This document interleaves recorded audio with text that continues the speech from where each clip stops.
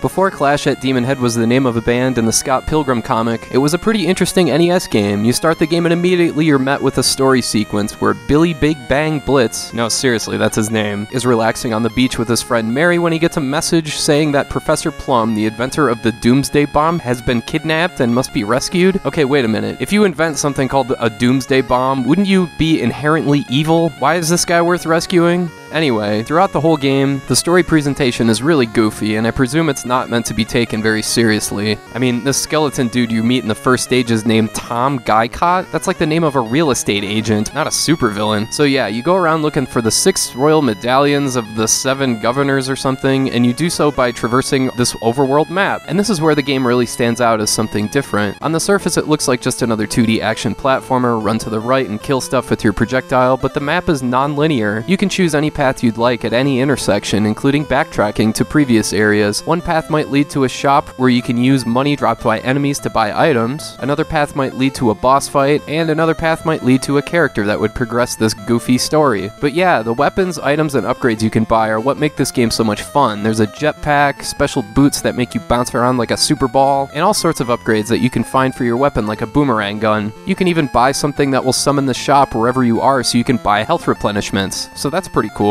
Really, though, the hook for this game is the map structure, which lends itself to be approached in all sorts of different ways. You can just follow the story and go where you're supposed to, or you can just go wherever the hell you want and follow every dead end, talk to every character. Really, there's a lot of replay value here. In fact, not only is this the case with the map, but it can be tricky to find the exit for each level. It's not always simply running to the right or to the left. Sadly, this game does have a password system instead of a battery save, so that's a bummer. But still, the open-ended structure of Clash at Demonhead is a major strength that you don't find in just any 2D side-scrolling action game. If I had to pick out any other flaws in Clash of Demonhead, the game visually doesn't do a whole lot for me. I certainly appreciate the cutscenes, those are something somewhat unique for the time, but the side scrolling levels are pretty primitive looking, especially when you look at its peers, like, say, Power Blade, Batman, or Vice Project Doom.